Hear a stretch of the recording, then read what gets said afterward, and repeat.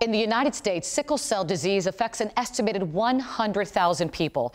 Patients with severe sickle cell have a very poor quality of life with frequent pain episodes and trips to the hospital.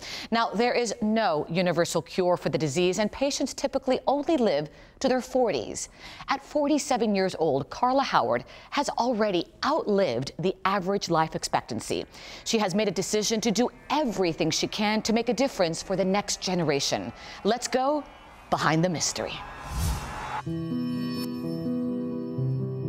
Living with sickle cell for the last 47 years of my life has allowed me the ability to definitely make sure that I'm advocating for individuals. I have the pleasure of reaching out to parents of newborns who have been diagnosed with sickle cell to give them the perspective of someone who lives with sickle cell on a daily basis I just try to reach back and help someone else to make sure that they can live a much fuller life than I did as a kid.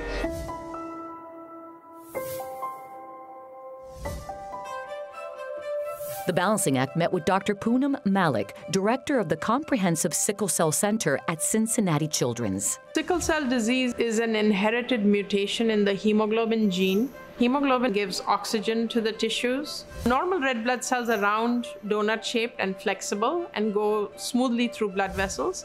But sickle red blood cells are hook-shaped or crescent-shaped every time they give up oxygen.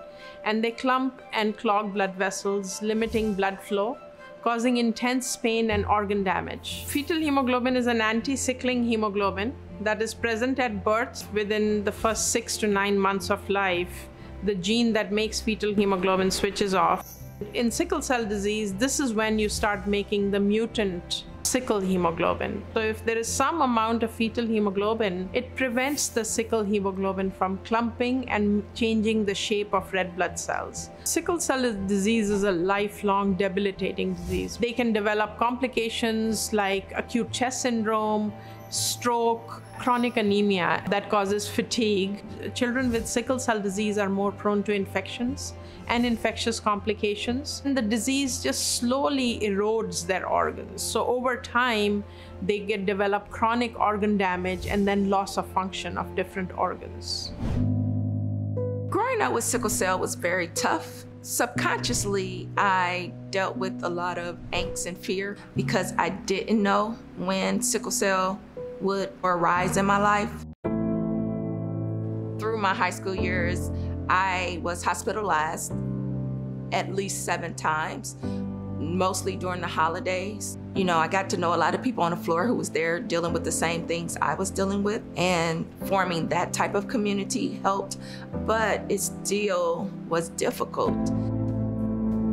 Sickle cell pain crisis causes sudden onset, very severe pain uh, a lot of this pain is confined to the limbs and the back. Patients often get admitted for painful crisis and they're in pain for days.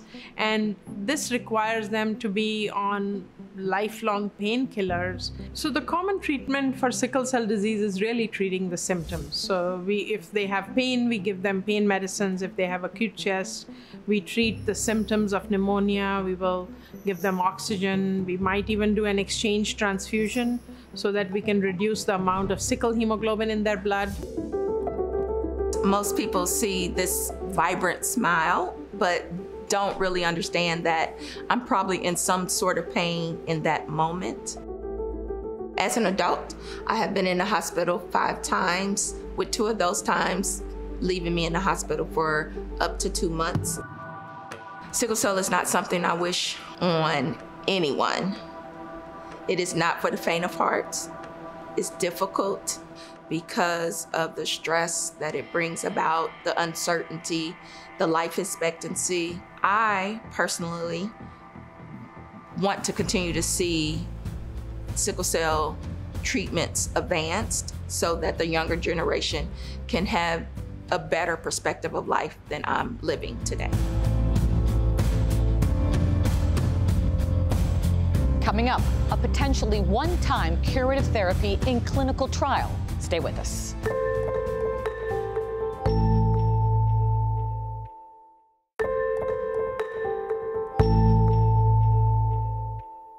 Welcome back. The current management strategies for sickle cell have their limitations. Let's go back to Dr. Malik for more.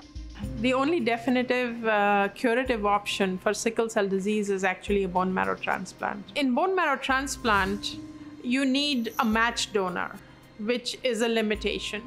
The second thing is, despite the best match, you can have immune side effects. And the third major thing with bone marrow transplant is that you have to wipe out all the disease stem cells uh, with very heavy doses of chemotherapy. But these are available to only about 15% of patients. So 85% of uh, patients with sickle cell disease do not have a curative option currently. And they are on disease modifying therapies like uh, hydroxyurea, a medicine that can increase the fetal hemoglobin. It has to be taken daily and it has to be titrated to the right dose that would that would not cause side effects. In some patients, it doesn't work as well. It doesn't increase the fetal hemoglobin. Patients want a curative therapy uh, that is a one time treatment, and then they don't have to worry about their sickle cell disease. Research from Dr. Malik's lab at Cincinnati Children's is providing hope. She's developed a one time, potentially curative investigational gene therapy called ARU 1801 that is currently in a clinical trial. I wanted to develop a therapy that would be universally applicable to all patients. For all blood disorders, you can actually genetically correct the blood stem cells and give them back to the patient. The advantage is that these are the patient's own cells, so every patient has this option. And because they are the patient's own cells, they do not come with the immune side effects you get from bone marrow transplant. This is a one time but lifelong therapy. The way gene therapy is done is that we first collect the blood stem cells, and that's just like a blood donation procedure. These stem cells are then genetically modified. A few weeks later, the patient gets a dose of chemotherapy, and then they get infused with the gene modified stem cells. After the patients get their stem cells, they make blood cells from the genetically modified cells. ARU 1801 is an investigational gene therapy for sickle cell disease where an anti-sickling fetal hemoglobin gene is delivered into blood stem cells.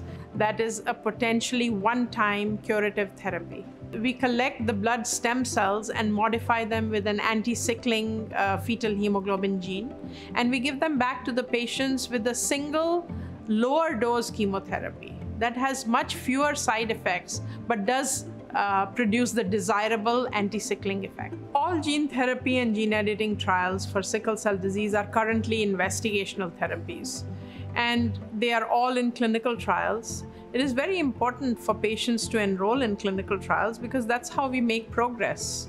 We learn a lot from uh, clinical trials because they are done systematically and in a very controlled manner. Um, they have a lot of oversight by regulatory agencies and the FDA so that they are done safely. If I'm personally asked to participate in a clinical trial that I am eligible for, I fully participate. Clinical trials is definitely the one thing that can help future generations of sickle cell disease patients.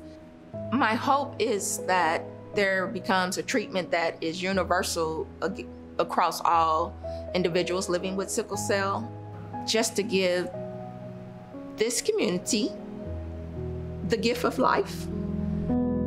For more information, you can visit momentumtrials.com and clinicaltrials.gov. You can always visit our website, thebalancingact.com. We'll be right back.